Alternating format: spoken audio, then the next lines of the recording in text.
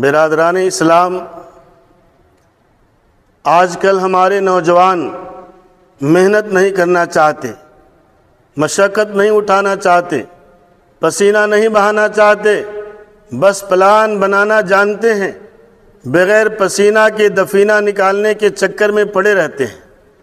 میں نوجوانوں سے مخاطب ہوں، کاہل کام چور نہ بنو۔ اپنے والد کی جائیداد پراپرٹی پر مطمئن ہو کر بیکار مت رہو۔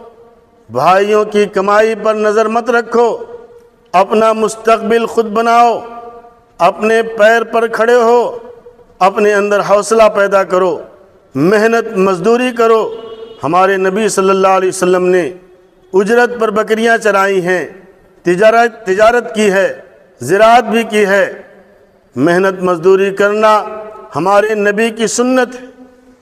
کتنا پیارا جملہ ارشاد فرمایا جناب محمد رسول اللہ صلی اللہ علیہ وسلم نے القاسب حبیب اللہ، محنت سے کمانے والا اللہ کا محبوب ہوتا ہے۔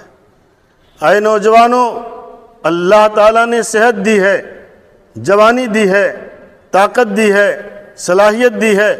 اس کو صحیح استعمال کرو۔ کاروبار، محنت، مزدوری میں شرم نہ کرو۔ بخاری شریف کی حدیث سے آپ صلی اللہ علیہ وسلم نے ارشاد فرمایا، جو کوئی انسان اپنے ہاتھ سے کمائے اور کھائے، اس سے بہتر کوئی کھانا نہیں۔ اور اللہ کے نبی صلی اللہ علیہ وسلم اپنے ہاتھوں کی کمائی سے کھاتے تھے۔ لہذا اے مسلمانوں، اپنی اولاد کو محنت کش، جفا کش بناؤ، انہیں انہیں تجارت و ملازمت کا راستہ بتاؤ۔ آج کل ہمارے بچے بیٹھے بیٹھے تاج محل کا خواب دیکھتے ہیں۔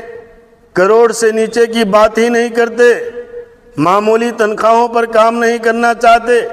محنت، مشقت نہیں اٹھانا چاہتے۔ راتوں رات کروڑ پتی بننا چاہتے ہیں۔ نوجوانوں، محنت، مزدوری میں شرم مت کرو۔ حلال کی کمائی، خون پسینہ کی کمائی میں برکت ہوتی ہے۔ حلال کی چٹنی روٹی حرام کی بریانی سے بہتر ہے۔